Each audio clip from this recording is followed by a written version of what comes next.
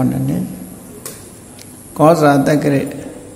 1385ခုနှစ်တဇောင်းမုံလာပြီချော14ရက်2013ခုနှစ်ဒီဇင်ဘာလ1ရက်ရန်ကုန်တိုင်းဒေသကြီးလမ်းမတော်မြို့နယ်ကိုင်းတန်လန်းထိပ်ဗုဒ္ဓဝါလုကစေရီတော်မြတ်အားဥထိပ်ပန်းစင်လျက် ကိုင်းတန်လန်းတန်ခါဒါနဆွမ်းလောင်းအသင်းမှရှစ်ကြိမ်မြောက်ဆင်ရင်ကျင်းပပြုလုပ်အပ်သည့်ဓမ္မပူဇာဓမ္မသဘင်အခမ်းအနား၌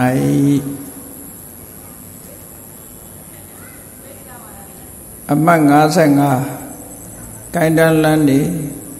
ဥကျုကုတော်အေခြင်းကိုရည်စူး၍သမိတော်မော်လီချူမိသားစုနှင့် အမှတ်53ကိုင်းလန်းနန်းနေဥသိမ့်ဝင်တော်ခြင်းမိသားစုတို့၏အမတဒါနဓမ္မဒါနအဖြစ်ဖြင့်ဟောကြားအပ်သောလောကသားတို့အတွက်မြတ်ဗုဒ္ဓဤကျိုးပန်းချက်အပိုင်း30ခွန်တရားဒေသနာတော်ဒီနေ့ညတပါးသဘင်ခန္ဓာကို ရွှေဘုန်းတော်သခင်ရှင်တော်မြတ်ဖရာဤ မဟာကရုဏာဂုံကိုအာယုပြုကတိကျုဖွဲ့ဆိုအပ်သောဝန္ဒနာပနာမအာတိတဂါထာကိုရွတ်ဆိုပူဇော်ခြင်းဖြင့်စတင်ကြရအောင်ယောကပကောတိဟိပိယပမေယံကာလံကရွန်တော်တိဒုက္ခရာနိခေရံကတောလောကဟိတယာနာထောနမောမာကာရုဏိကတတတ ယောနာထောဝိနိယများစွာတတ္တဝါဤချမ်းသာစီးပွားလိုလားတောင်းတအကုန်ပေါင်းခါသဖြင့်နာထမြညာခြင်းရှင်တော်မြတ်ဖရာသည်ကပ္ပကောတိဟိပိဂရေကဘာအရေးအတွက်သင်္ချာတို့ဖြင့်တော်လဲအဘေမေယံရေတွေ့တိုင်းတာဖော်ပြခြင်းငါမစွမ်းနိုင်ပါသော ကာလံလေးအသင်ချေသိမ့်နေကဘာရှိကြသောကာလပတ်လုံးလောကဟိတယတတ္တလောကဤအကျိုးစီးပွားအလို့ငါအတိဒုက္ခရာနိဥ္စာအသက်ချေလက်အင်္ဂါမိတ္တကြီးမာသမိတာနှင့်တထာဇနီဆွန်ញင်းကြီးဟုကျက်တိထဝေငါးသွဲအစုအလွန်ခဲရင်တော်မူတော့ကို ကရွန်တော်ဖျားဖြစ်ရန်ဤတန်ကြိုးကုတ်အာထုတော်မူရသည်ဖြစ်၍ခေရန်လက်ချေမျက်လုံးအသက်ဆုံးလည်းရဲ့နှလုံးစိတ်ဝံကိုရောဤပင်မခြင်းတို့ကတောဘဝတဏ္ဏကျိန်ဖန်များစွာရောက်တော်မူခဲ့ရရှာလေပြီမဟာကရုဏီကတတတဝါများရင်ဝဲသားကဲ့သို့တနာချစ်ခင်မဟာကရုဏာရှင်ဖြစ်တော်မူသော တသနာတသဝိနည်းများစွာတတဝါဤချမ်းသာစီးပွားလိုလားတောင်းတဂုံပေါင်းခါသည်ဖြင့်နာထမြညာထိုးရှင်တော်မြတ်ဖရာအားနမောယုတိပြောင်းပြော့မှန်မြတ်မှန်ကိုလျော်၍ကရောယုကျိုးရှိခိုးခြင်းသည်အထုဘဝတုစေစစ်မသွေဖြစ်ပါစေတည်း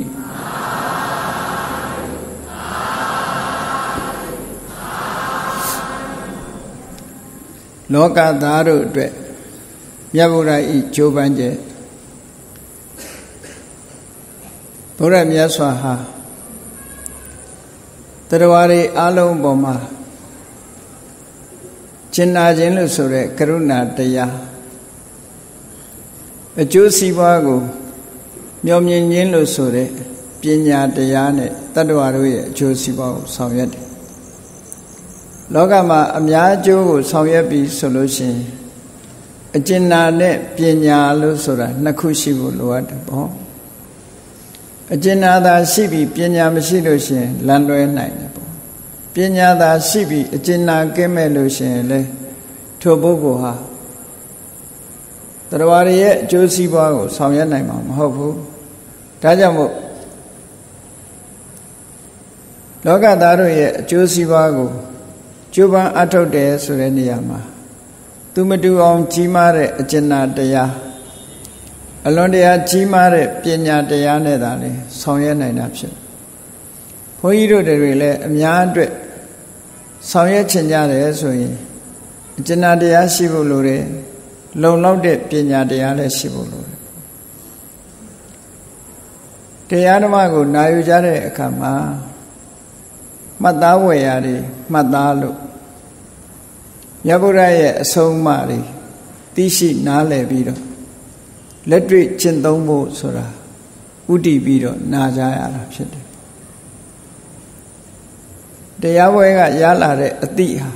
မိမိရဲ့နေစဉ်ဘဝမှာဘယ်လိုအသုံးချမယ်ဆိုတာအသုံးချအသိပညာတွေရရှိအောင်အာယုစိုက်ပြီးတော့နာကြရတာဘာဖြစ်လို့လဲဆိုတော့ တရားပွဲဆိုတာပျော်ပွဲရှင်ပွဲမျိုးမဟုတ်ဘူးအသိပညာပေးတဲ့ပွဲတာလည်းဖြစ်တယ်ပေါ့အသိပညာရအောင်လုပ်ရမယ်ဟောသမျှတရားတွေဟာလဲရသော်ဘုရားကိုယ်တိုင်ဆုံးမဟောကြားခဲ့တာဖြစ်တယ်ပေါ့ရသော်ဘုရားဟောကြားဆုံးမတဲ့တရားတွေထဲမှာကိုယ်ဘဝနဲ့သက်ဆိုင်တဲ့အရာတွေရှောင်သင့်တာနဲ့ဆောင်းသင့်တာ ရှောင်သင့်တာကိုရှောင်ပြီးဆောင်းသင့်တာကိုဆောင်းပြီးနေ့စဉ်ဘဝမှာအတုံးချလိုက်နာမှသာလျှင်ကောင်းကျိုးချမ်းသာဆိုတာရနိုင်တယ်လို့မှတ်သားကြရအဲ့ဒါလို့မဟုတ်လို့ရှိရင်တော့တရားပွဲကရတဲ့အမြတ်ဆိုတာတခြားရှိမှာမဟုတ်ဘူးတရားမွဲကရတဲ့အမြတ်ဟာဘာလဲလို့ဆိုရင်အတိညာမဲတာဖြစ်တယ်ပေါ့အဲ့ဒီအတိညာဆိုတာ ကိုယ့်ရဲ့နေ့စဉ်ဘဝမှာဘယ်လိုနေရမယ်ဘယ်လိုထိုင်ရတယ်ဘယ်လိုစိတ်ထားရမယ်အများနဲ့ဘယ်လိုပေါင်းသင်းဆက်ဆံရမယ်ဆိုတာတွေကအစမြတ်စွာဘုရားရဲ့အဆုံးအမတွေဟာဒီဘဝကောင်းကျိုးအတွက်လည်းပဲညွန်ပြတာရှိတယ်ဤဘဝကြီးချမ်းမဲ့နောင်ဘဝရဲ့ကောင်းကျိုးချမ်းသာတွေကိုလည်းညွန်ပြတာရှိတယ်နောက်ဆုံးမှာ ဘဝကနေသာဝရလွတ်မြောက်တဲ့အငိမ့်တက်ကိုရဖို့ဆိုတဲ့အချက်လည်းပဲညွန်ပြတာရှိတယ်ပေါ့ဒါကြောင့်မို့နံပါတ်1ဒီဘဝကောင်းကျိုးချမ်းသာတွေကိုဘယ်ပုံဖော်ဆောင်ရမလဲရသော်ဘုရားအဆုံးအမဘယ်လိုရှိတယ်လဲတို့တွေဟာကိုယ်ဘဝခရီးကိုရှောင်လန်းတဲ့အခါမှာဘယ်လိုရှောင်လန်းကြမလဲဆိုတဲ့ အသိပညာတွေရအောင်စီဘူးအထောက်ကြတခါဒီဘဝတည်းမဲ့ဘဝဆိုတာလမ်းဆုံးတာမဟုတ်ဘူးဒီဘဝကောင်းစားရေးနဲ့နောက်ဘဝကောင်းစားရေးဆိုတာတခါတည်းရန်တူချင်မှတူတယ်ပေါ့အဲ့တော့ဒီဘဝလည်းကောင်းစားရမယ်နောက်ဘဝလည်းကောင်းစားရမယ်ဆိုတာမျိုးရွေးချယ်ပြီးတော့ကျင့်သုံးမှုလိုအပ်တယ်ဒါကြောင့်မို့အကျိုးရှိရာရှိကြောင်း အသိပညာနဲ့သွားမှသာလေဘဝမှာမှားယွင်းချက်မရှိဘဲနဲ့မှန်ကန်တဲ့လမ်းကြောင်းပေါ်ကိုရှောက်လန်းလို့ကောင်းကျိုးချမ်းသာတွေကိုရမှာဖြစ်တယ်။အ ਨੇ ဆုံးမြတ်စွာဘုရားရဲ့အဆုံးအမတိုင်းလိုက်နာမယ်ဆိုရင်စိတ်နှလုံးအေးချမ်းမှုလူတိုင်းလူတိုင်းခံစားကြအောင်စိတ်နှလုံးအေးချမ်းမှုဆိုတာအင်တမလိုအပ်တယ်ထိုစိတ်နှလုံးအေးချမ်းမှုကိုပေးနိုင်တာဟာ အသိပညာသာလင်းဖြစ်တယ်ပေါ့ဒါကြောင့်မို့အသိပညာရအောင်စီးပူအထောက်ကြလောကသားတို့ရဲ့လောကသားတို့အတွက်မြတ်ဗုဒ္ဓကြီးကြိုးပမ်းဆောင်ရွက်ချက်တွေဟာအင်တမအံ့ဩလောက်အောင်ပြည့်စုံတယ်လောကသားတွေအကျိုးရှိရာရှိကြောင်းမြတ်စွာဘုရားတုံသင်ဆုံးမတော်မူတယ်အဲ့ဒီလိုမြတ်စွာဘုရားလောကသားတွေအတွက် အကျိုးစီးပွားရှိအောင်ဆောင်ရွက်တဲ့အခါမှာမြတ်စွာဘုရားအနေနဲ့ကျိုးစိုးလက်ခံမှုနဲ့သာကြုံရတာမဟုတ်ဘူးဆန့်ကျင်တိုက်ခိုက်မှုတွေနဲ့လည်းကြုံရတယ်လောကလူသားတွေဟာလူသားတိုင်းလူသားတိုင်းမြတ်စွာဘုရားကိုကြီးညိုကိုးကွယ်ကြတာမဟုတ်ဘူး မကြီးညိုတဲ့ပုံကိုယ်တွေလည်းအများကြီးရှိတယ်ပေါ့ဘယ်လိုပဲဖြစ်ဖြစ်ကြီးညိုသူရောမကြီးညိုသူပါနှစ်ဦးလုံးအတွက်သိခံပြီးတော့ကောင်းကျိုးချမ်းသာရအောင်ဆောင်ရွက်နိုင်တယ်ဆိုတာအလွန်ကြီးမားတဲ့အကျဉ်းနာတရားကြောင့်ပဲဖြစ်တယ်အလွန်ကြီးမားတဲ့အကျဉ်းနာတရားကိုအခြေခံပြီးတော့ပညာတရားကိုအသုံးချတဲ့အခါမှာမှန်ကန်တဲ့လမ်းကြောင်းတစ်ခုကိုမြတ်စွာဘုရားချမှတ်ပြီးတော့ပေးတော်မူခဲ့တယ် အဲ့တော့မြတ်စွာဘုရားသခင်ကိုရောမြတ်လောကသားတွေအတွက်ကြိုးပမ်းဆောင်ရွက်မှုတွေနဲ့ပတ်သက်ပြီးတော့မှတ်သားနိုင်ယူချရမှာမှတ်သားနိုင်ယူပြီးတော့မိမိတို့ဘဝမှာလည်းပဲရင်ဆိုင်လာရတဲ့အခက်အခဲတွေကိုဘယ်လိုဖြေရှင်းမယ်ဆိုတာကိုယ့်အတွက်အသိဉာဏ်ရဖို့အရေးကြီးတာပေါ့ဖျားဖြစ်တို့ရောက်ပြီးတဲ့နောက်မှာ တက်တော်34နှစ်ထဲမြတ်စွာဘုရားသခင်ကိုရောမြတ်ကောတမီပြည်မှာသတင်းသုံးနေထိုင်ခဲ့တယ်ပေါ့ကောတမီပြည်ဆိုတာဒီကနေ့အိန္ဒိယနိုင်ငံအနေနဲ့ပြောမယ်ဆိုရင်အလဟာဘတ်မြို့နားမှာရှိတယ်လို့ဆိုတယ်အလဟာဘတ်မြို့နားမှာကောတကောတမီပြည်ဆိုတာရှိပြီးထိုကောတမီပြည်မှာကျောင်းတိုက်ကြီး၃ခုရှိတယ် ခောတိတာယုံကျောင်းနဲ့ကုတ်ကုတာယုံကျောင်းပါဝါရိကယုံကျောင်းအဲဒီလိုကျောင်းတိုက်ကြီး၃ခုတထေးကြီး၃ခုကအတီးအတီးတီထောင်ထားတဲ့ကျောင်းတိုက်ကြီး၃ခုမြတ်စွာဘုရားအများအဖြစ်တော့ခောတိတာယုံခောတိတတထေကြီးသို့မဟုတ်ခောတကတထေကြီးလှူဒန်းထားတဲ့ခောတိတာယုံကျောင်းတိုင်းမှာသတင်းသုံးနေတာဒီကနေ့အခြေအနေကြည့်မယ်ဆိုရင်ခောတိတာယုံကျောင်းဟာ ခင်းကမြေကမ်းနားမှာနီးတယ်ခင်းကနဲ့ယမုနာစုံတဲ့အစုံလေးမှာခင်းကမြေကမ်းနားမှာဒီကျောင်းနဲ့ကြီးဟာကျောင်းဟောင်းနေရာအနေနဲ့ရှိတယ်အဲ့ဒီမှာသတင်းသုံးနေထိုင်တဲ့အခါမှာမြတ်စွာဘုရားကိုယုံကြည်ကိုးကွယ်ပြီးတော့မြတ်စွာဘုရားရဲ့တပည့်အဖြစ်ခံယူကြတဲ့ယဟန်တော်တွေ ကောတမီပြည်ကယဟန်တော်တွေအဲ့ဒီယဟန်တော်တွေအတွင်းမှာတပားနဲ့တပားမကျေနပ်မှုဆိုတာတခါတော့ကဖြစ်ပေါ်လာခဲ့တယ်အဲ့ဒီယဟန်တော်တွေဟာသမတတ်ပေမတတ်နှလဘိန်းတုံးနေတော့မဟုတ်ဘူးပညာဓာတ်တွေပဲဖြစ်တယ်သို့တော့ကိစ္စတစ်ခုနဲ့ပတ်သက်ပြီးတော့တဦးနဲ့တဦးမကျေနပ်တဲ့ကိစ္စတွေဖြစ်ပေါ်လာတတ် အဲ့ဒီဖြစ်ပေါ်လာတဲ့အခါမှာမြတ်စွာဘုရားရဲ့ယတ္တိမှုဟာဘယ်ဘက်ကိုမှဥစားပေးတာမလုပ်ဖဲနဲ့နှစ်ဖက်လုံးကိုမျှပြီးတော့ဆုံးမဩဝါဒပေးခဲ့တာဒါလည်းဘဝခရီးလျှောက်လန်းတဲ့အခါမှာဘုန်းကြီးတို့တွေမှတ်သားကြဖို့ပေါ့မိသားစုထဲမှာတောင်း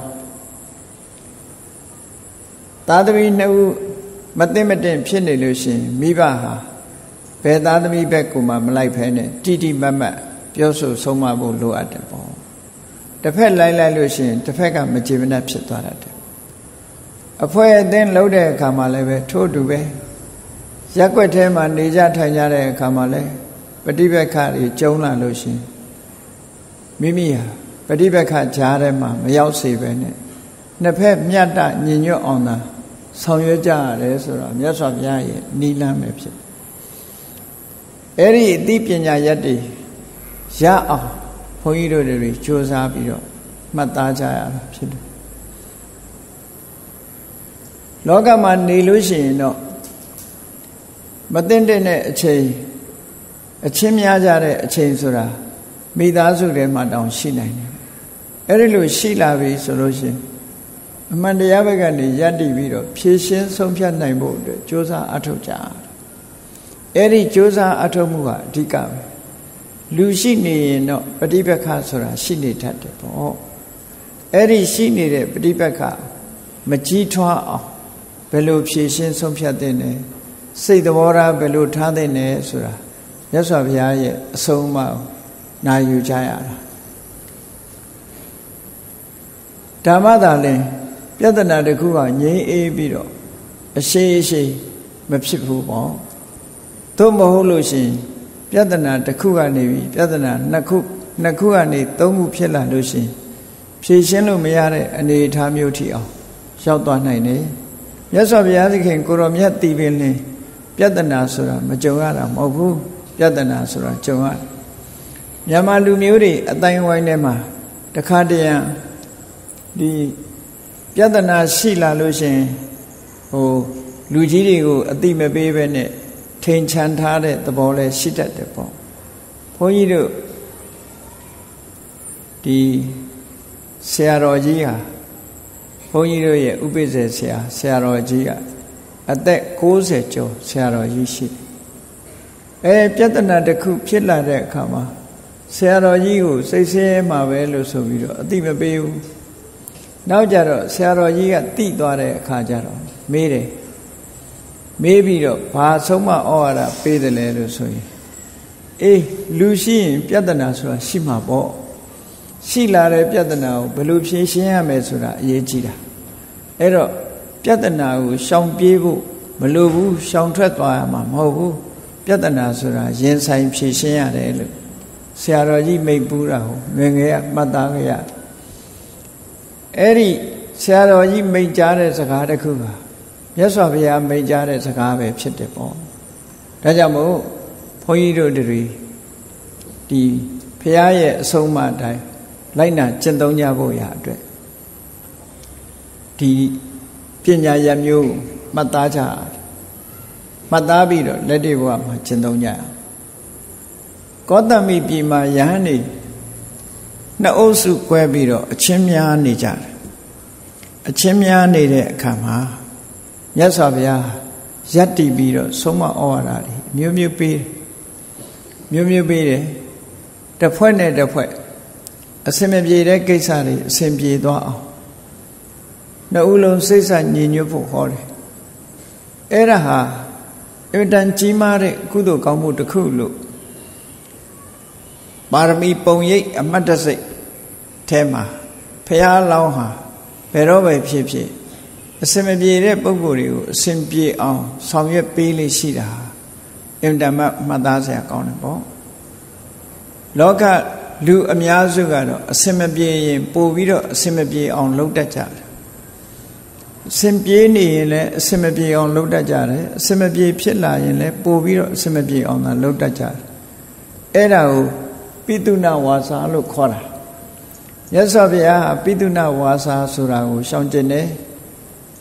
မညီညွတ်သေးတဲ့ပုဂ္ဂိုလ်တွေညီညွတ်အောင်လုပ်တယ်ညီညွတ်ပြီးသားပုဂ္ဂိုလ်တွေကိုအားပေးပန့်ထောက်ချီးမြှောက်တယ်ပို့ပြီးတော့ညီညွတ်အောင်ဟောပြောပေးတယ်ဒါဟာကောင်းကျိုးချမ်းသာကိုဖြစ်ပွားစေတတ်တဲ့ကြီးမားတဲ့ကုသိုလ်ကောင်းမှုတစ်ခုပဲလို့ဒီလိုဆိုတာပေါ့အဲ့ဒီမှာကောသမိယဟန်တွေကိုမြတ်စွာဘုရားကဆုံးမဩဝါဒပေးတယ်ညင်ခုန်မှုခိုက်ရမှုတူတူအစမပြေတဲ့စကားတွေပြောဆိုမှု ဒါတွေကိုရှောင်ကြမငင်းညာမခုံညာနဲ့ခိုက်ရန်ဒေါသမဖြစ်ကြနဲ့တူတူတိခညင်ခွင့်လွတ်ခြင်းနဲ့ညင်ညွတ်အောင်ဆောင်ရွက်ဖို့မြတ်စွာဘုရားတိုက်တွန်းတယ်အဲ့ဒါလို့တိုက်တွန်းတော်လည်းပဲဒီဒေါသကိုအခြေခံပြီးတော့ကောရတွေဥပနာဟတွေလွန်ကဲနေတဲ့ပုံကိုယ်တွေဟာဘယ်တော့မှဒီစိတ်မပြေနိုင်ကြဘူးမာမာနတွေလူတွေမှာကြီးကြတယ် မာမာနကြီးကြတယ်မြတ်စွာဘုရားကတဦးနဲ့တူမညင်ညွတ်တာဟာအရေးကြီးတဲ့အချက်ကတော့ဘာလဲဆိုရင်ကောဓာနဲ့ဥပါနာဟာဒေါသကြီးတယ်မခံနိုင်ဘူးမဟုတ်မခံဘူးဆိုတဲ့လူတွေလည်းလောကမှာအများကြီးပဲမဟုတ်မခံဘူးဥပနာဟအညိုးတွေအတေးတွေနဲ့ထားတယ်အဲ့ဒီမဟုတ်မခံမှုအညိုးအတေးတွေထားပြီးဆိုတဲ့ပုံကိုယ်ကြီးချားမှာ ညင်ညွတ်မှုဆိုတာဘယ်တော့မှမလာနိုင်ဘူးတဲ့ကွဲပြားခြားနားမှုတွေသာဖြစ်ပြီးတော့တစ်ဖက်နဲ့တစ်ဖက်ရန်ဆောင်မှုတွေနဲ့ပဲလောကကြီးတစ်ခုလုံးသူလည်းကောင်းကျိုးချမ်းသာမရကိုယ်လည်းကောင်းကျိုးချမ်းသာမရသူလည်းစိတ်ချမ်းသာမှုမရကိုယ်လည်းစိတ်ချမ်းသာမှုမရပဲနဲ့နှစ်ဦးလုံးနှစ်ဖက်လုံးဆုံးရှုံးနေတာမှုနဲ့သာကြုံရတယ်လို့မြတ်စွာဘုရားဒီလိုဟောတာလောကမှာတိခဏ်ခြင်းခွင့်လွတ်ခြင်းဆိုတာအတ္တမတန်ဖိုးရှိတယ်တဲ့ ကောသမိယဟန်နေချင်းချင်းများနေတဲ့အခါမှာမြတ်စွာဘုရားကမငင်းညာနဲ့မခုံညာနဲ့လို့ဆုံးမတယ်ဆုံးမတဲ့အခါမှာယဟန်တွေကနာခံခြင်းမရှိဘူးတုံးနဲ့တူမကြေနိုင်ကြဘူးအခဲမကြေကြဘူးခွင့်မလွတ်နိုင်ကြဘူးသီးမခံနိုင်ကြဘူးအဲ့ဒါလို့ဖြစ်တော့မြတ်စွာဘုရားကဒီဒီတကယ်အဖြစ်ပြက်ပုံဝုထုလေးတစ်ခုနဲ့ ရဟန်းတွေကိုဆုံးမဩဝါဒပေးတယ်အဲ့ဒီဆုံးမဩဝါဒပေးတဲ့ပုံဝုထုလေးဟာတကယ်ဖြစ်ပျက်ခဲ့တဲ့အကြောင်းအရာလေးတစ်ခုပဲတမိုင်းကြောင်းအရာပြန်ပြီးတော့ပြောတဲ့အခါမှာအိန္ဒိယနိုင်ငံမှာဖြစ်ခဲ့တဲ့ဒီဇလန်တစ်ခုပေါ့ကာတိတိုင်းနဲ့ကောသလတိုင်းဆိုတာမနီးမဝေးမှာရှိတယ်မနီးမဝေးမှာရှိကြ ရခိုင်တုန်းကကာတိတိုင်းကအုပ်စိုးတာဘယင်တူကောသလတိုင်းအုပ်စိုးတာဘယင်တူကောသလတိုင်းဆိုတာကြတော့တာဝတိမြို့မှာအခြေစိုက်တယ်ကာတိတိုင်းကတော့ဗာရဏသီမြို့မှာအခြေစိုက်တယ်အဲ့ဒီအခါတုန်းကတော့ကာတိတိုင်းနဲ့ကောသလတိုင်းဒီတိုင်းနှစ်တိုင်းမှာဘယင်တစ်ပါးစီအုပ်စိုးတော့ကာတိတိုင်းမှာအုပ်ချုပ်တဲ့ဗာရဏသီဘယင်ကြီးက စီပါဥစ္စာတွေပေါ်များတယ်စစ်တိဘိုးပါများပြားတယ်နောက်လိုက်နောက်ပါတွေများပြားတယ်ကျွယ်ဝတယ်ချမ်းသာနော်ဥစ္စာရဏကျွယ်ဝတယ်ချမ်းသာတယ်ကောသလတိုင်းကိုအုပ်စိုးတဲ့ဘယင်ကတော့အဲ့ဒီချိန်တုန်းကကောသလဘယင်ဟာချမ်းသာကြွယ်ဝခြင်းမရှိဘူးစစ်အင်အားလည်းမရှိဘူးပေးနိုင်ကမ်းနိုင်စွမ်းလဲရွှေငွေဗန္တာယရနာလဲသူ့မှာနေပါတယ် အဲ့ဒီလိုအခြေအနေလေးမှာကာတိဘယင်ကဘာလုပ်လဲလို့ဆိုကောသလတိုင်းကိုဝင်ရောက်ပြီးတော့ကျူးကျော်တိုက်ခိုက်တယ်ပေါ့အင်ဖိတ်လုပ်တယ်ခေါ်တာဟောကာတိတိုင်းကနေပြီးကောသလတိုင်းကိုကျူးကျော်ကျူးကျော်တဲ့စစ်ပွဲတစ်ခုကိုဆင်နွှဲတဲ့အခါမှာကောသလဘယင်ကရင်မဆိုင်ဝန်းဘူးစစ်အင်အားချင်းမမျှသည့်အတွက်ကြောင့်ရင်မဆိုင်ဝန်းတော့ မြို့တော်ကနေတိတ်တဆိတ်ထွက်ပြေးပြီးတော့တင်းရှောင်သွားတယ်ဘယင်ကြီးမရှိဘူးဆိုတဲ့အခါမှာဘယ်သူကမှလည်းခေါင်းဆောင်ပြီးတော့ခုခန္ဓာမရှိသည့်အတွက်ကြောင့်အလွယ်တကူပဲကာတိဘယင်ကကောကာတိကာတိဘယင်ကြီးကကောသလတိုင်းကိုသိမ်းယူလိုက်တယ်ပေါ့သိမ်းယူတဲ့အခါမှာစီးပွားဥစ္စာတွေလည်းအကုန်လုံးယူသွားတယ်ဆင်းနေမြင်းနေရှိသမျှဗန္ဒာပစ္စည်းတွေအကုန်လုံးသိမ်းယူသွား အဲ့ဒါလို့လူရဲ့ဖြက်စီးပြီးတော့သူလိုချင်တာတွေအကုန်ယူပြီးတော့ကာတိတိုင်းကိုပြန်သွားတယ်အဲ့ဒါလို့ခံလိုက်ရတဲ့အခါကောသလတိုင်းဟာဖို့ဖို့ခြေသွားအောင်ဒီကျူးကျော်တိုက်ခိုက်မှုကိုခံလိုက်ရတာပေါ့ဘယင်နဲ့မိဖုရားကလည်းတိတ်တဆိတ်ထွက်ပြေးသွားတယ်ထွက်ပြေးသွားပြီးတော့သူတို့ဘယ်သွားနေကြတော့ဆိုအဝေးလဲတိတ်ပြီးတော့မပြေဘူး ကိုရောင်ဖြောက်ပြီးတော့နှစ်ဦးလုံးဟာပရပိုက်အဝတ်ကိုဝတ်ပြီးတော့ပရပိုက်ရောင်ဆောင်ပြီးတော့ကာတိတိုင်းကစင်ကြေဘုံတစ်ခုမှသွားပြီးပုံအောင်နေထိုင်ကြပုံအောင်နေထိုင်တာဘယ်မှာနေတော့ဆိုကာတိတိုင်းရဲ့စင်ကြေဘုံတစ်ခုမှာအိုးလုပ်ငန်းလုပ်တဲ့အိုးဖုတ်တဲ့နေရာမှာအိုးလုပ်ငန်းလုပ်တဲ့ပုဂ္ဂိုလ်ရဲ့ အရေးအဝါဒကိုခေါ်ပြီးတော့အဲ့ဒီမှာပုံနေကြတာသူတို့နှစ်ယောက်ဘယင်နဲ့မိဖုရားနန်းကြဘယင်နဲ့မိဖုရားပုံနေကြတာအဲ့ဒီမှာအဲ့ဒီလိုပုံနေရင်ကနေနောက်ကြတော့ဘာဖြစ်လာတော့ဆိုကောသလဘယင်ရဲ့မိဖုရားကြီးကကိုဝန်ရှိလာတဲ့အခါမှာအမျိုးသမီးတွေရဲ့ထုံးစံကိုယ်ဝင်ရှိလာလို့ရှိရင်ချင်းချင်းတတ်တယ်ဆိုတာဖြစ်တာ ထူးထူးဆန်းဆန်းသူကဘာချင်းချင်းဖြစ်လာတော့ဆိုရင်စစ်အင်္ဂါ၄ပါးနဲ့ဒီစစ်ရေးပြတာကို तू ချိချင်တဲ့စိတ်ရှိလာခါတိုင်းတော့ तू ကမိဖုရားဆိုတော့ဒီစစ်ရေးပြတဲ့အခမ်းအနားတွေမှာ तू ကကြည်ရတာအခုတော့နန်းကြဘရင်ဘဝမှာဒီစေးပြတဲ့အခမ်းအနားတွေမကြည့်ရတော့သူကြည့်ကျင်စိတ်တွေဖြစ်လာဒါကြည့်ကျင်စိတ်ရှိတာတခု နောက်တစ်ခါတန်လျေဓားစားတဲ့လက်နဲ့တွေထိုခေတ်ကတော့လက်နဲ့တွေဓာတ်တို့လှန်တို့အဲ့ဓာတွေကိုသွေးတဲ့သွေးပြီးတော့ဆေးကြောတဲ့ရေအဲ့ဒီရေတန်လျေဓားလှန်တို့ရဲ့အနန္တတ္တိပါတဲ့ဒီရေကိုတောက်ချင်တယ်ဆိုတဲ့စိတ်ပေါ်လာတယ်အဲ့ဒီနှစ်ခုစလုံးဟာနန်းကြဘရင်တယောက်အဖို့မှာလွယ်ကူတာမဟုတ်ဘူးလွယ်ကူတာမဟုတ်တော့ သို့တော့ချင်းချင်းတတ်တဲ့ပုဂ္ဂိုလ်ဟာကိုချင်းချင်းကိုမဖြည့်ဆည်းနိုင်ဘူးဆိုလို့ရှိရင်တပိမ့်မိန်တလိမ့်လိမ့်နဲ့စိတ်ဆင်းရဲပြီးတော့အသက်ပါဆုံးသွားတာနိုင်တယ်ပေါ့အဲ့ဒီမှာဘယင်ကြီးကဘာလို့ရအောင်ဆိုသူ့ကိုလူရဲ့တိုက်ခိုက်သွားတဲ့ကာတိဘယင်ကြီးရဲ့ပရောဟိတ်ငကိုတော့ကသူနဲ့တိတိကျွမ်းခင်မင်ခဲ့ဘူးတဲ့ပေါ့ ဒါနဲ့ပရောဟိတ်ကြီးစီတိတ်တဆိတ်ဆက်သွယ်တယ်ဆက်သွယ်ပြီးတော့ဒီကိစ္စနှစ်ခုကိုသူတောင်းဆိုတယ်ကုညီပေးဖို့တောင်းဆိုတော့ပရောဟိတ်ကြီးရဖြစ်ပါစေမယ်သူစီမံမမယ်လို့လုပ်ပြီးတော့သူကတော့စိတ်ကောင်းနှလုံးကောင်းရှိတယ်အဲ့တော့သူလှုပ်ချင်တာတွေဖြစ်အောင်လုပ်ပေးမယ်သူကိုယ်တိုင်လည်းမိဖုရားကြီးကိုတွေ့ချင်တယ်ဆိုပြီးလိုက်လာတယ်လိုက်လာပြီးတော့ဘေးရင်ကျမ်းဂန်အရာ မိဖုရားကြီးကိုသူကကြိလိုက်တာနဲ့အေးမိဖုရားကြီးရဲ့ဝန်းထဲမှာရှိတဲ့သရေသားဟာတော့ကောသလဘယင်ဖြစ်မဲ့ပုဂ္ဂိုလ်ပဲကောသလတိုင်းကြီးကိုပြန်လီအုပ်စိုးနိုင်တဲ့အရေးချင်းရှိတဲ့ဖြစ်ပါလိမ့်မယ်ဆိုရင်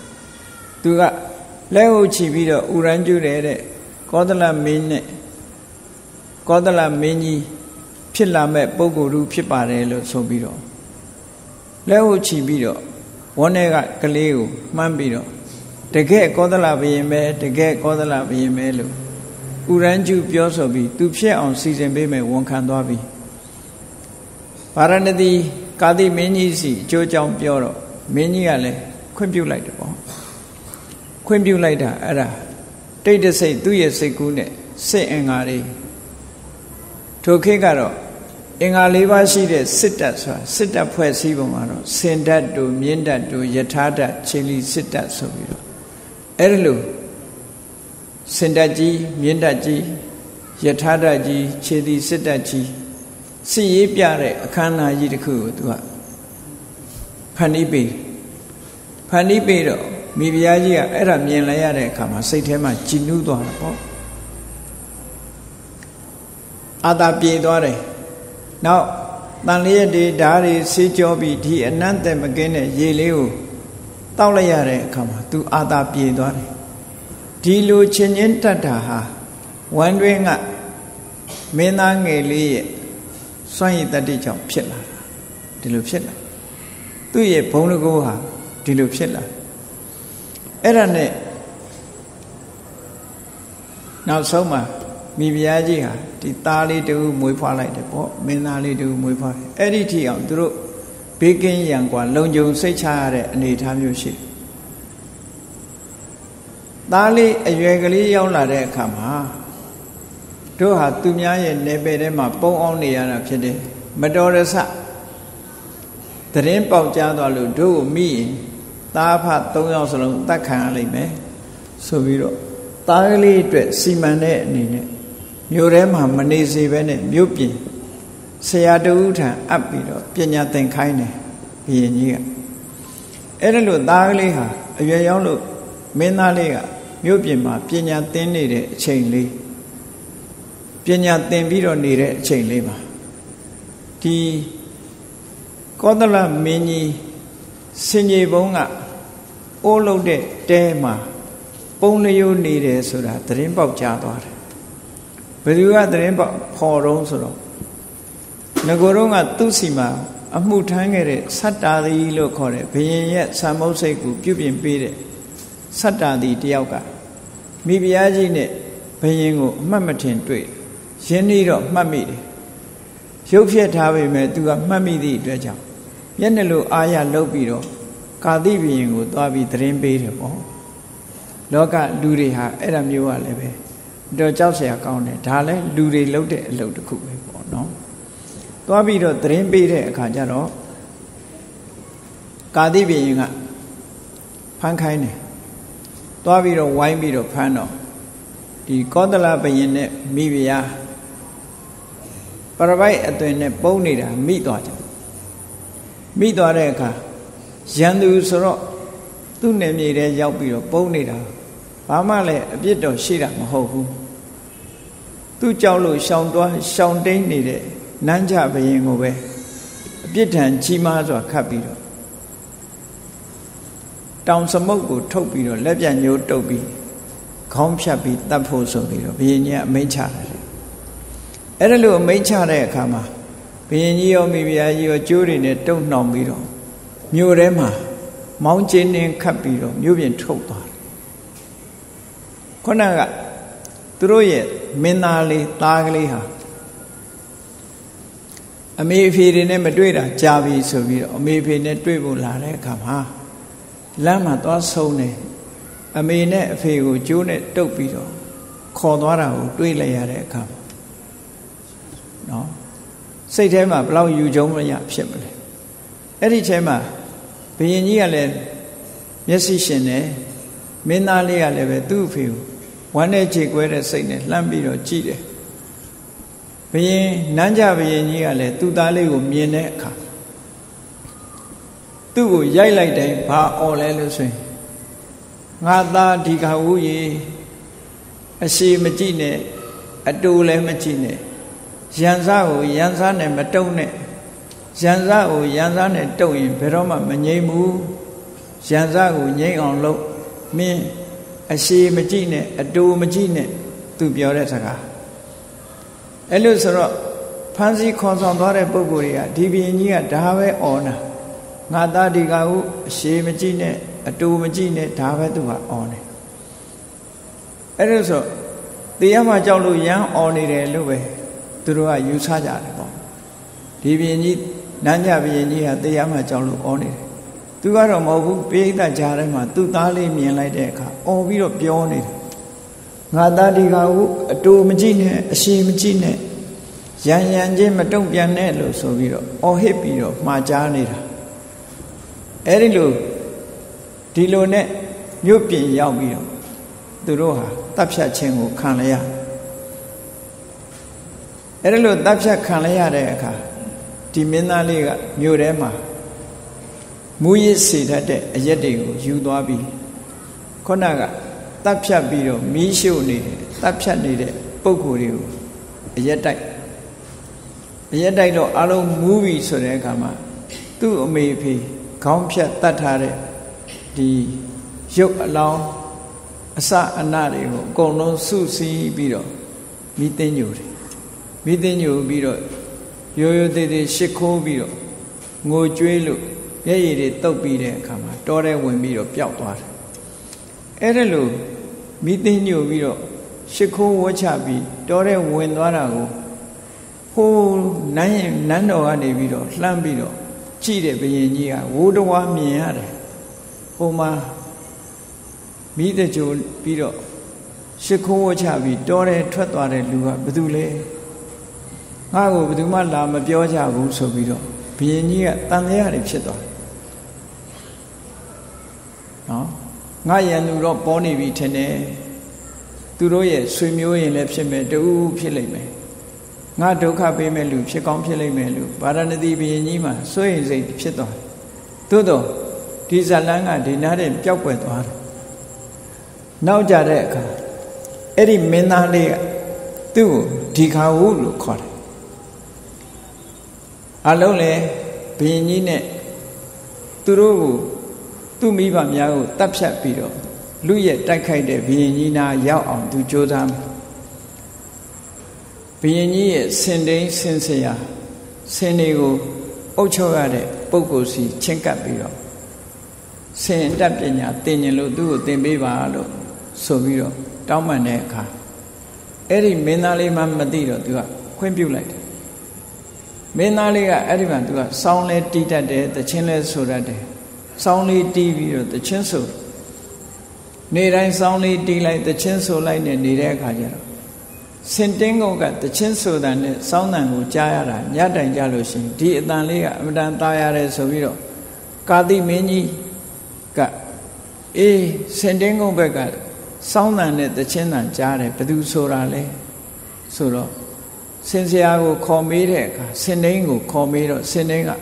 သူ့ရဲ့တပည့် လူငယ်လေးတယောက်ပါလို့ဆိုငါစီလွတ်လိုက်ဆန်းဆိုမင်းသားလေးကဘယင်စီရောက်သွားမင်းသားလေးမှန်းတော့မသိဘူးသူတို့အဲ့ဒီသူစီရောက်တဲ့အခါကျတော့ကဲတချင်းဆိုပြီးတော့စောင်းတီးစမ်းပါလို့သူကကြာကြာနာနာဆိုပြီးတော့ဘယင်ကြီးကိုဖြည့်ပြောတယ်ဘုရင်ကြီးကသိသဘောကျသွားတယ်အေးဒီနေ့ကနေစပြီးမင်းငါနာမှာနေဆိုပြီးတော့ဘုရင်ကြီးကလာစာပေးထားပြီးသူနာခေါ်ထားတယ် ခေါ်ထားတဲ့အခါကျတော့ဒီမင်းသားလေးကလည်းလူရင်ကျေးဆိုလိမ္မာရင်ကျေးမှုရှိတော့ဘုရင်ကြီးရဲ့ဝတ္တရားတွေအကုန်လုပ်တယ်နော်ဘုရင်ကြီးမအိတ်ခင်အရင်ထတယ်နောက်မှအိတ်တယ်ဘာလုပ်ရမလဲဆိုဘုရင်ကြီးစီမှာအမြဲတမ်းယိုကျိုးစွာမေးတယ်ဘုရင်ကြီးသဘောကျတဲ့စကားရင်ကြီးကြီးလိမ့်လိမ့်မာမာပြောတယ်နော်ဘုရင်ကြီးကြိုက်တာကိုပဲလုပ်တယ်ဆိုတော့ဘုရင်ကြီးကသိသဘောကျတယ်သူ့ကို အဲသိသဘောကျတဲ့အခါဘုရင်ကြီးနဲ့သူနဲ့သိကိုရင်းနှီးသွားကြတယ်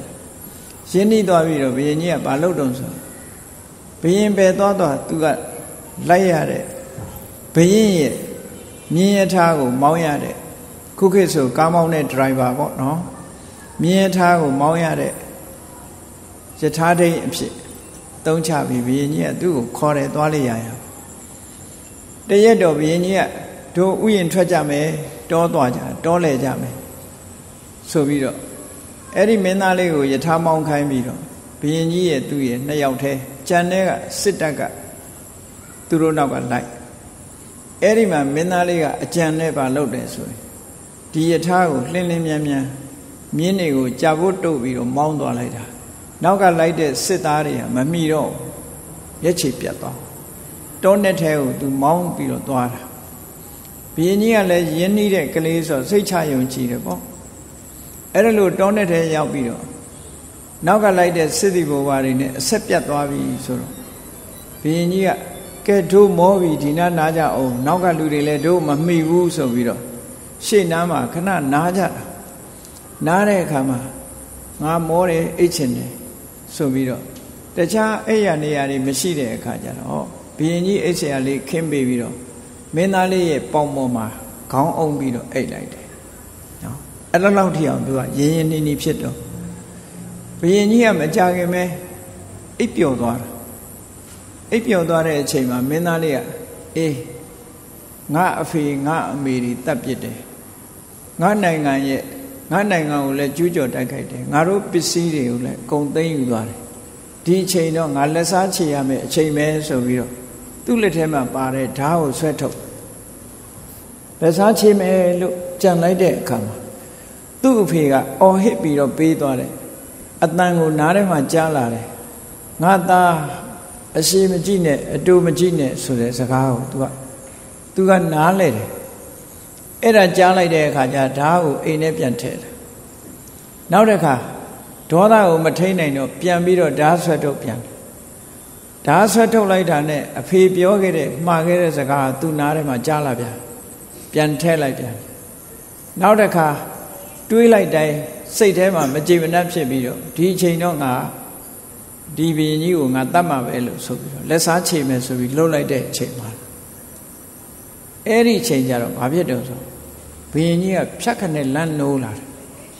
အိမ်မက်တွေမက်တယ်တဲ့သူကျူးကျော်တိုက်ခိုက်တဲ့ နန်းကြဘရင်ရဲ့သားနန်းကြဘရင်ရဲ့သားကဓားနဲ့လိုက်လို့သူထွက်ပြေးရတယ်ဆိုတာအိမ်မက်ကိုမက်တာ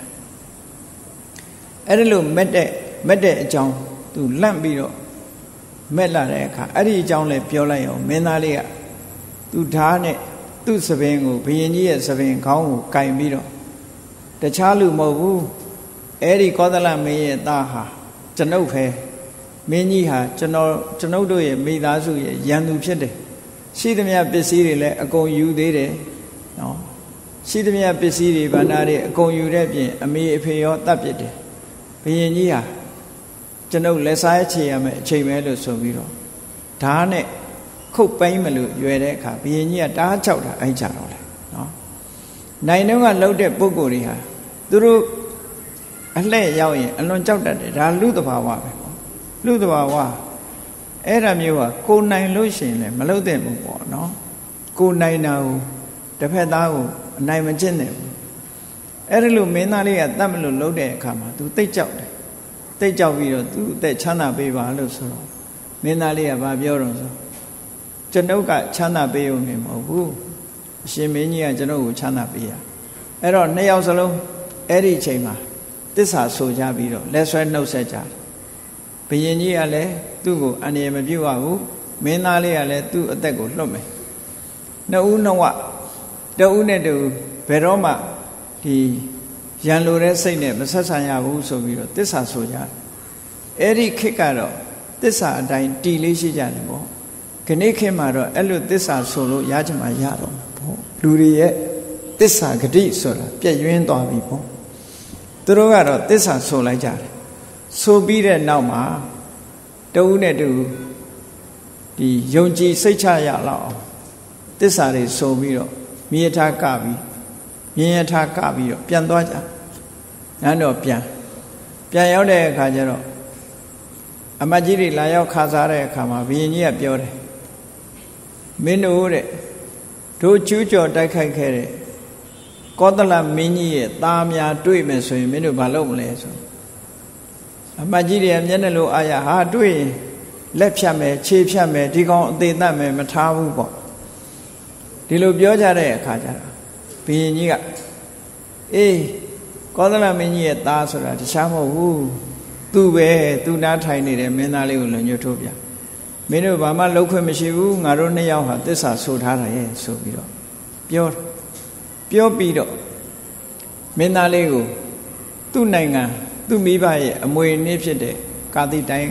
ကောသလတိုင်းကိုပြန်ပြီးတော့အနံလို့သူ့မှာရွယ်ရောက်တဲ့သမီးတော်နဲ့ပေးစားပြီးအဲ့ဒီမှာကောသလဘယင်ဖြစ်ပြန်ဒီခန့်အပ်ထားရဲဆိုရယ်ဒီဇလန်းလေးကိုမြတ်စွာဘုရားဟောပြမြတ်စွာဘုရားဟောကျင်တာတော့ဒီဇလန်းမှာအဓိကအချက်ကဘလောက်တော့ဆိုဒီမင်းသားလေးရဲ့စိတ်ဓာတ်ကိုတတိထားဖို့ဒီမင်းသားလေးဟာ အမေဖေကိုလည်းတတ်တယ်နော်မင်းသားလေးဟာအမေဖေတတ်တဲ့လူသူ့ပစ္စည်းဥစ္စာတွေအကုန်လုပြီးတော့အမေဖေတတ်သွားတဲ့ပုဂ္ဂိုလ်ကိုတောင်မှပဲသီးခံခြင်းခွင့်လွှတ်ခြင်းဆိုတာလုံနိုင်တယ်တဲ့ဒါလောက်ကိုယ်စော်ကားထားတာတောင်မှသီးခံနိုင်တယ်ဆိုအတော်ရောစိတ်ဓာတ်မဟုတ်ဘူးဒီစိတ်ဓာတ်မျိုးဟာလောကလူသားတွေဟာဒါလောက်မစော်ကားတာတောင်မှပဲခွင့်လွတ်နိုင်ဖို့ရအမှန်မှခဲကြတယ်တဲ့အခုဟာခွင့်လွတ်တယ် အဲ့ဒီခွင့်လွတ်တာဟာစံနမူနာယူသင့်တယ်ဒါကြောင့်မို့လို့တဦးနဲ့တူတိခဏ်ချင်းခွင့်လွတ်ခြင်းငြိမ်းချမ်းငြိမ်းချမ်းခြင်းဆိုတဲ့ဒီအဆုံးအမဟာမြတ်ဖရာရဲ့အဆုံးအမတစ်ခုပဲဖြစ်တယ်ပေါ့မိသားစုထဲမှာလည်းပဲမင်းကိုငါခွင့်မလွတ်နိုင်ဘူးဆိုတာမျိုးတွေမပြောသင့်ဘူးပေါ့နော်ခွင့်လွတ်နိုင်ရမယ်ခွင့်လွတ်နိုင်ရမယ်တိခဏ်နိုင်ရမယ်ဖြောင်းပြပြီးတော့ယဉ်ကျေးအောင်ဆုံးမနိုင်စွမ်းရှိရမယ် ဒီလိုမှလူလောကကြီးဟာตายရမှာပဲ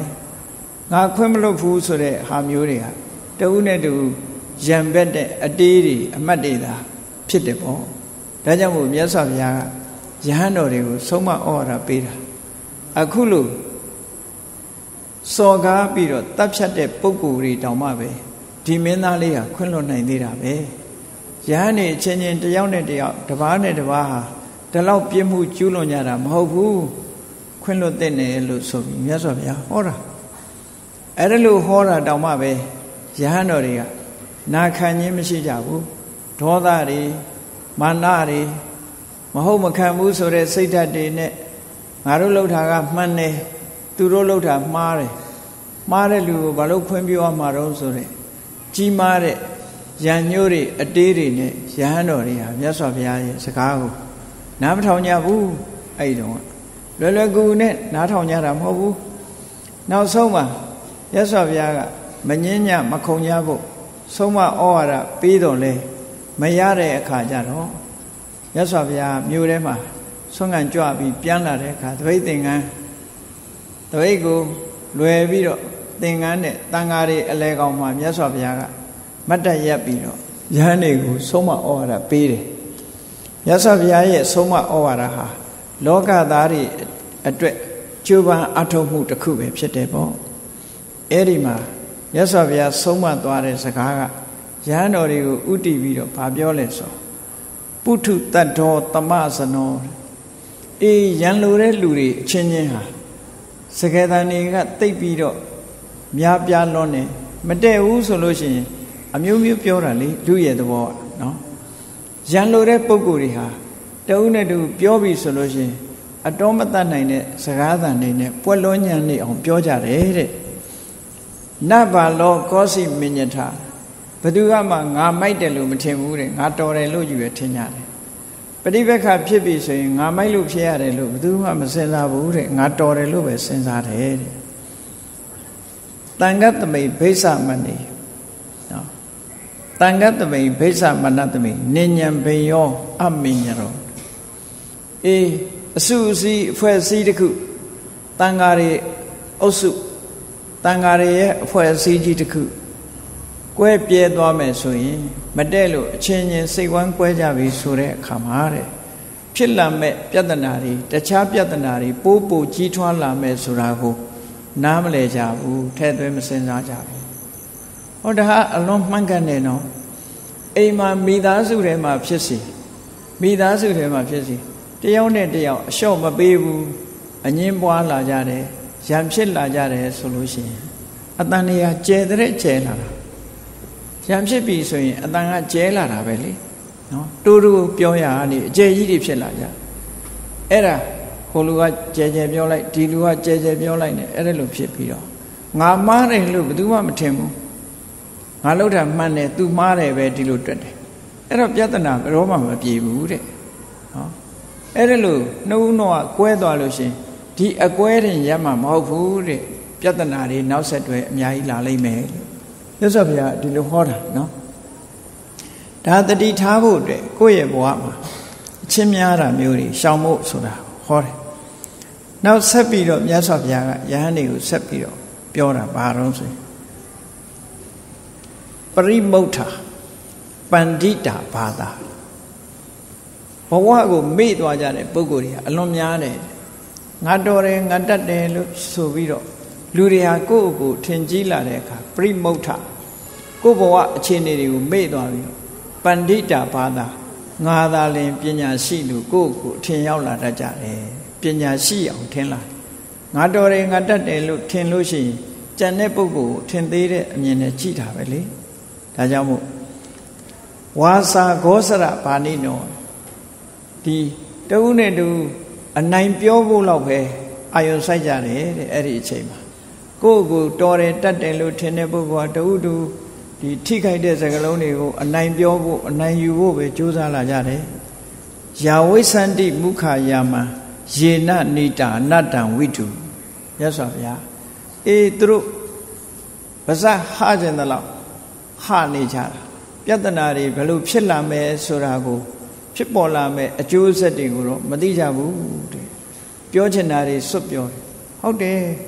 လူနှစ်ယောက်ရံဖြစ်ပြီဆိုရင် ပြောချင်တာတွေအကုန်စွတ်ပြောတာပဲလေပြောပြီဆိုတဲ့အခါကျတော့မှမှားတယ်ဆိုတာနောက်ကလိုက်လာတာလေမှားတယ်လို့သိတာအတော်ကြာမှသိတာဒါကြောင့်မို့ယာဝိသန္တိမုခာယာမပါဇက်ချဲ့ကြံတော့ချဲ့ပြီးတော့လူတွေဟာပြောလိဆိုလေးရှိကြတယ်နှုတ်ကြွန်ရတယ်နှုတ်လွန်ရတယ်ပေါ့ ဖြည့်ရှင်းလို့မရအောင်စကားတွေကြွန်လွန်ကြအဲ့ဒီစကားကြွန်စကားလွန်တာတွေကြောင့်ဖြစ်ပေါ်လာမဲ့ပြဿနာကိုတော့မစင်စားမိကြဘူးယဟန်တွေကိုမြတ်စွာဘုရားဆုံးမဒါတွေနှုတ်လွန်အောင်မပြောသင့်ဘူးတဲ့အကောစီမံအဝတ္တိမံအစိနိမံအဟာတိမေယေစတံဥပနရှန္တိဝေရန်တေတံနတမတိတဲ့မြတ်စွာဘုရားအေးငါ့ကိုတစ်ချိန်လုံးကဆဲခဲ့တာပဲ ငါ့ကိုရိုက်နှက်ခဲ့တယ်ငါ့ကိုအနိုင်ကျင့်ခဲ့တယ်ဆိုပြီးတော့စိတ်ထဲနှလုံးထဲမှာအညှိုးတေးတွေထားနေသမျှကာလပတ်လုံးဘယ်တော့မှယံဟာမငိမ့်နိုင်ဘူးအညှိုးတေးဆိုတာမထားရဘူးလို့ဆိုလိုတယ်ဘဝအကောစိမံအဝတ္တိမံအစိနိမံအဟာတိမေငါ့ကိုဆဲတယ်ငါ့ကိုရိုက်တယ်ငါ့ကိုအနိုင်ကျင့်တယ်ငါဟာတွေမတရားယူတယ်ဆိုတဲ့အညှိုးတေးတွေကို ဖြောင်းနိုင်မှစိတ်ထဲမှာအညှိုးတေးတွေမထားမှသာလဲရန်စဆိုတာငြိမ့်နိုင်တယ်ဒါမြတ်စွာဘုရားဟောတဲ့ဒီလိုက်နာကျင့်သုံးရမယ့်အရာတစ်ခုပဲဘု து ပေါ်မှာကိုကအညှိုးတေးဆိုတာမထားသင့်ဘူးလို့မြတ်စွာဘုရားလူဟောဒါဘုရားဆုံးမတဲ့အဆုံးမတစ်ခုเนาะနောက်တစ်ခါမြတ်စွာဘုရားကဗာဆက်ပြီးယဟန်နေဆုံးမတော့နာဟိဝေရေနဝေရာနိရန်ကိုရန်တိုင်းချင်းတုတ်နေရင်ဘယ်တော့မှမငြိမ်းဘူးတဲ့ တမ္မန္တိတကုရစနာဒီလောကကြီးမှာရန်ကိုရန်နဲ့ပြန်တုတ်ရင်ဘယ်တော့မှမငြိမ်းဘူး tip for tap လို့ခေါ်နော်သူကတစ်ချက်ခေါက်ရင်ကိုကနှစ်ချက်ခေါက်မယ်ဆဲရင်ပြန်ဆဲမယ်ဆိုတဲ့ tip for tap မဟုတ်မခံဆိုတာတွေဟာဘယ်တော့မှယဉ်ငိမ့်မှမဟုတ်ဘူးတဲ့အဝေရေနသာတမန္တိယံမလုပ်ဖဲနဲ့နော်မေတ္တာတို့သိခံခြင်းတို့ ခွင့်လွတ်ခြင်းဆိုတာတွေနဲ့သာလေယံဆိုတာငြိမ့်နိုင်တယ်အဲ့ဒါဟာတဏ္ဍတနောရှေးတုန်းကတည်းကဖြစ်ပေါ်လာတဲ့တကယ်ရှေးကြတဲ့ရှေးရုပ်စင်လာဓမ္မတာကြီးတစ်ခုပဲဒါကြောင့်မို့အချင်းချင်းအပြန်လန်းရန်ရန်ချင်းမတုံ့တင်းရဘူးလို့ကောသံဘီကယဟန်တွေကိုမြတ်စွာဘုရားဆုံးမဩဝါဒပေးတယ်ဆက်ပြီးတော့ဆုံးမဩဝါဒပေးတာကတော့ပရိသနဝိသနန္တိမယမိထယမမတိ စဉ်းစားခိုင်းတယ်ရံဖြစ်နေတဲ့လူတွေအချင်းချင်းအေးဒီနေ့ကျတော့ငါတို့သေကြရမှာဆိုတာကိုမသိကြဘူးတဲ့မယမိထယမမတိဒီနေ့ကျတော့ငါတို့သေကြရမှာဆိုတာကိုမသိတဲ့ပုဂ္ဂိုလ်တွေဟာဘာဖြစ်လဲရံဖြစ်နေကြမှာပဲဟုတ်တယ်လေရံဖြစ်ရင်ရောဘယ်လောက်ဖြစ်နိုင်မှာလဲလူတက်တန်းဆိုတာဘယ်လောက်မှရှိတာမဟုတ်ဘူးဒီအတွင်းမှာရံဖြစ်နေရံဖြစ်နေတဲ့ပုဂ္ဂိုလ်ရဲ့စိတ်ဓာတ် ငြိမ်းချမ်းမှမဟုတ်တာဟုတ်အဲ့တော့ယေသတ္တထဝိဇာဏတိတတောတမ္မန္တိမေရကလောကမှာတဘာဝကိုသိလာတယ်တို့တွေလောကကြီးမှာနေကြတာခဏနေတာတင်းတင်းမြတ်မြတ်နဲ့နော်တူတူရရန်ပင်ပင်ကူကူညီညီတိခဏချင်းခွန်းလွတ်ခြင်းနဲ့ငြိမ်းချမ်းစွာ နေမယ်ဆိုလို့ရှိရင်ညှင်းခုန်မှုတွေဟာပျောက်ကွယ်သွားမှာပဲ အပြန်အလှန်ခွင့်လွတ်ပြီးတော့နေတယ်ဆိုတဲ့အဓိပ္ပာယ်မြတ်စွာဘုရားနော်ဒီအဓိပ္ပာယ်ကိုဆိုဒါလောကကြီးမှာဒီ tip for tat လုံးနေသမျှတော့ဘယ်တော့မှမငြိမ်းချမ်းဘူးဆိုတာဒါမှန်ကန်တယ်ပေါ့ဘယ်တော့မှမငြိမ်းဘူးကမ္ဘာရဲ့အခြေအနေကိုလေ့လာကြည့်လည်းပဲဒီတိုင်းပဲတွေ့ရမှာပဲအဲ့ဒီမှာမြတ်စွာဘုရားကအငင်းခုန်နေငြိမ့်သွားဖို့ဆိုတာဟာတိခဏ်ချင်းခွင့်လွတ်ခြင်းမှငြိမ့်နိုင်တယ်တဲ့နောက်ပြီးတော့ ဒီဇလန်းလေးရမြတ်စွာဘုရားယဟန်တွေကိုတတိပေးတယ်အဋ္ဌိစိဏပါဏဝရာဂဝတ္တဒနဟာရိနောရထံဝိလုံပမနနံတေတံပိဟောတိသင်္ကတိခုနကပြောတဲ့ကာတိမင်းနဲ့ကောသလမင်းတို့ရဲ့ဇလန်းကိုကြည့်ကာတိမင်းဟာကောသလမင်းကိုတပ်ဖြတ်တယ်တပ်ဖြတ်ပြစ်တယ်သူပိုင်တဲ့ပစ္စည်းတွေကိုသိမ်းယူတယ်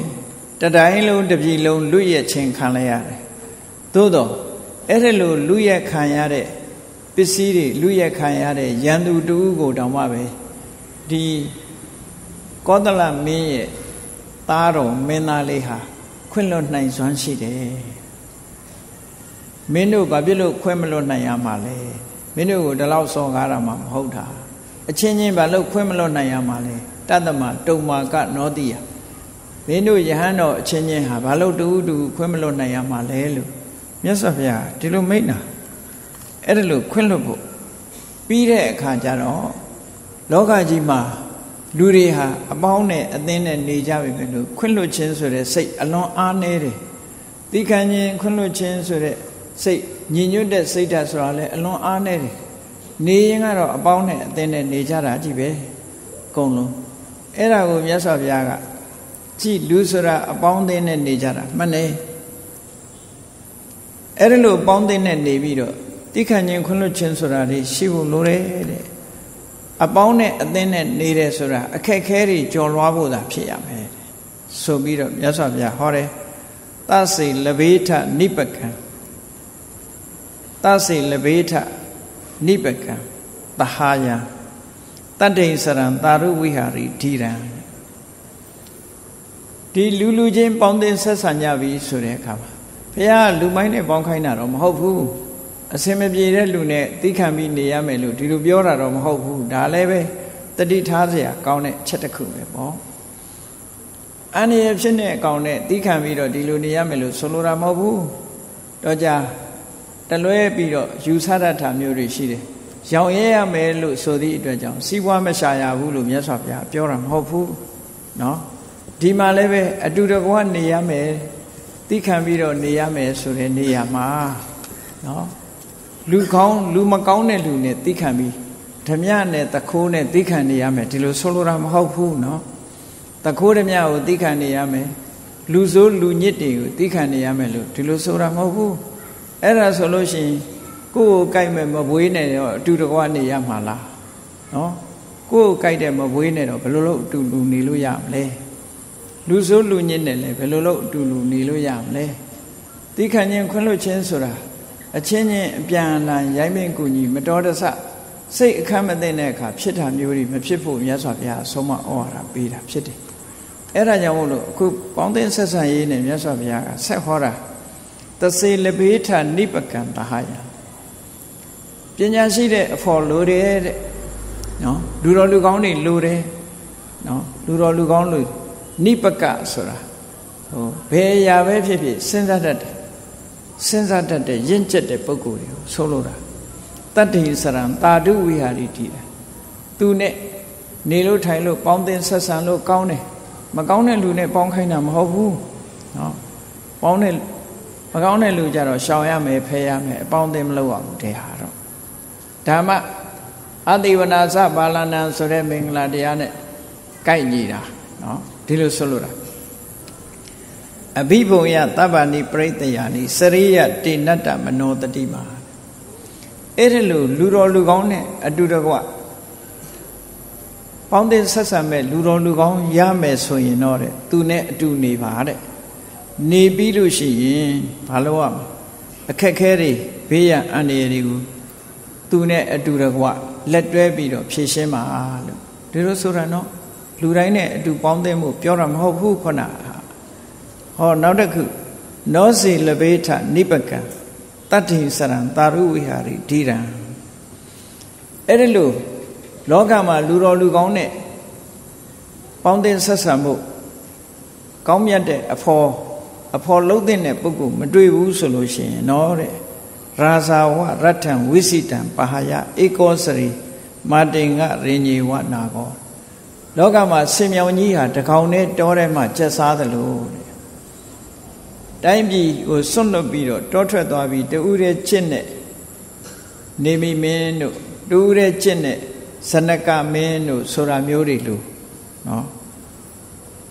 တူးတဲ့နေတာဟာကောင်းတယ်နော်တူးတဲ့နေတာကောင်းတယ်အဖော်ကောင်းမတွေ့ရင်တူးတဲ့ပဲနေတာကောင်းတယ်ဧကတ္တစရိတံတေယောနတ္ထိဖာလေသဟာယတာ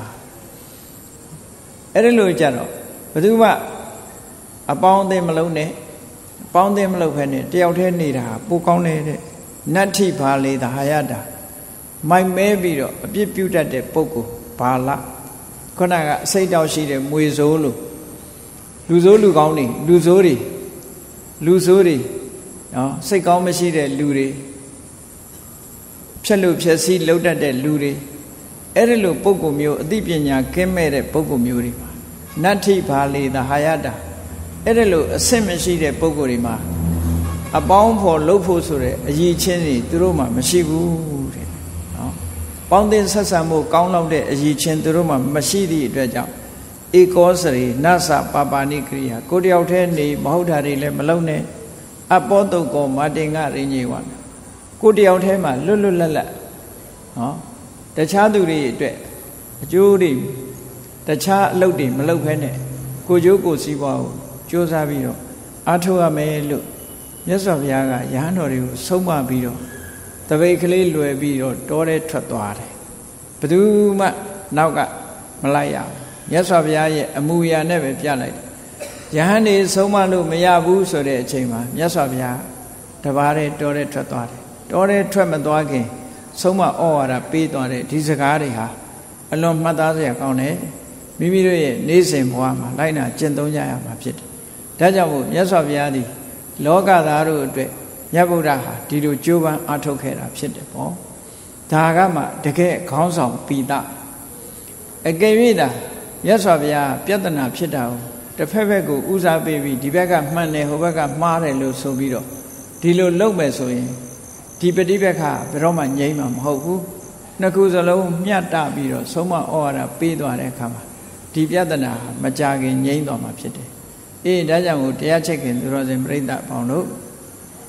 ရဗုဒ္ဓရဲ့လောကသားတို့အတွက်ကြိုးပမ်းအထောက်ချက်တွေဟာအင်မတန်မှအတူယူအားကြစရာကြီးညိုပွဲရာကောင်းတယ်တို့တွေလည်းတတ်နိုင်သမျှလိုက်နာကျင့်သုံးဆောင်ရွက်ကြရမှာဖြစ်တယ်လူလောကမှာနေတဲ့အခါအခက်အခဲပြဿနာဆိုတာဘယ်နေရာမှာမဆိုရှိတယ် ရှိတဲ့အခါပြဿနာကိုမှန်ကန်တဲ့နည်းနဲ့တို့ဖြေရှင်းနိုင်အောင်ကြိုးစားအားထုတ်ကြမယ်လို့ကိုစီကိုစီသဘောကျပြီးမြတ်ဗုဒ္ဓရဲ့အဆုံးအမကိုလိုက်နာကျင့်သုံးနိုင်ကြပါစေကုန်သတည်း